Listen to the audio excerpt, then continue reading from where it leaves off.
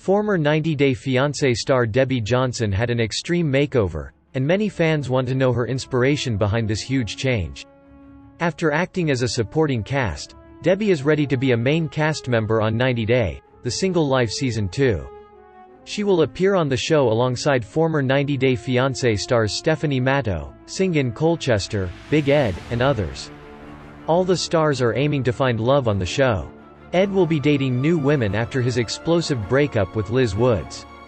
Syngin may shoot his shots with a gothic girl after splitting from Tania Maduro.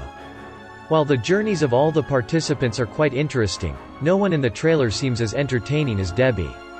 The 69-year-old TLC star will date after 40 years and isn't shying away from speaking her mind. There are quite a few reasons why Debbie is bound to be the most entertaining cast member on the show.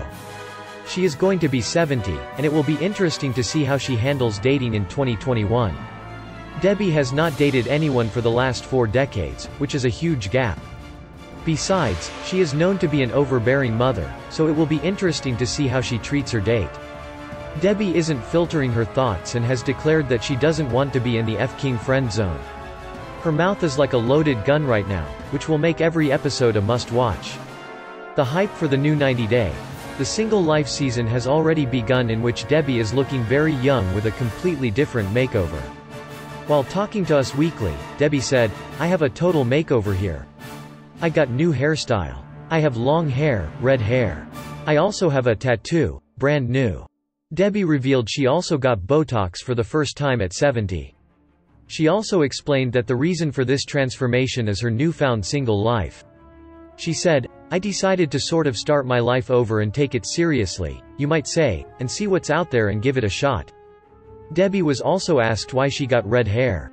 She said, I was born with red hair, but it kind of grew up to be more dark brown. Debbie humorously added that it was either this or rainbow.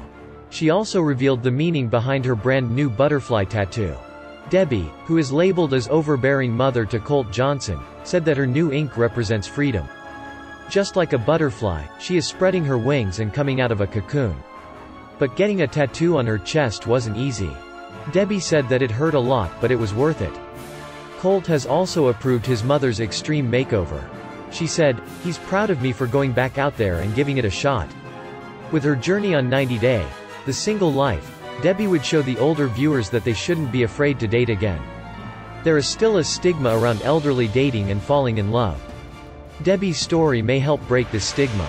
Thanks to the show producers, who had been accused of manipulation, for giving a 69-year-old woman a chance to find her companion, which may have a liberating effect on others. 90 Day Fiancé viewers will see Debbie's ups and downs and progress as she wanders off in the new territory with her brand new makeover. Source. Us Weekly.